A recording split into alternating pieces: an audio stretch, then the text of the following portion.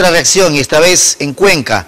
Las autoridades de la Universidad de Cuenca justamente rechazaron también la calificación emitida por el Consejo de Evaluación y Acreditación y Aseguramiento de la Calidad de la Educación Superior, que los ubica en la categoría B dentro del listado de los centros de educación superior en nuestro país. En ese marco, las autoridades universitarias apoyadas por el Consejo Directivo en pleno presentarán en las próximas horas la apelación correspondiente a este proceso, que no la consideran claro en diferentes aspectos y se puntualizó. Vamos a revisar nuestros procesos, desde luego que lo vamos a hacer. Vamos a invitarle al CEACES a que venga y nos dé cuentas claras de las calificaciones, porque queremos conocer. Tenemos muchas dudas. No puede ser que un reglamento se haya aprobado a última hora no puede ser que los pesos no se nos dio a conocer con anticipación debida. No puede ser que personas que vinieron a hacer la evaluación y la constatación en la universidad sean grupos completamente heterogéneos entre las distintas universidades.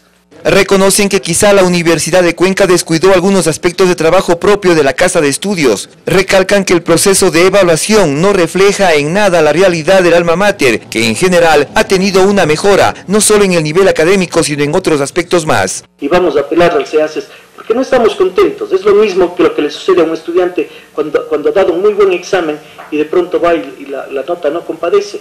Lo único que quiere saber es por qué me calificó así. Y eso es lo que vamos a exigir como Universidad de Cuenca. La Universidad de Cuenca consta en la categoría B.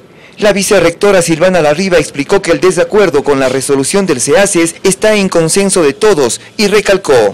No corresponde a la realidad el reflejo de esta, de esta evaluación, no estamos conformes la segunda evaluación y acreditación de las 54 universidades del país ubica tan solo a tres centros en la categoría A. La segunda evaluación y acreditación de las 54 universidades del país ubica tan solo a tres centros en la categoría A. Sin embargo, revelan en las restantes un mejor nivel académico que hace cuatro años. En Cuenca, Leonardo Sánchez, Telerama Noticias.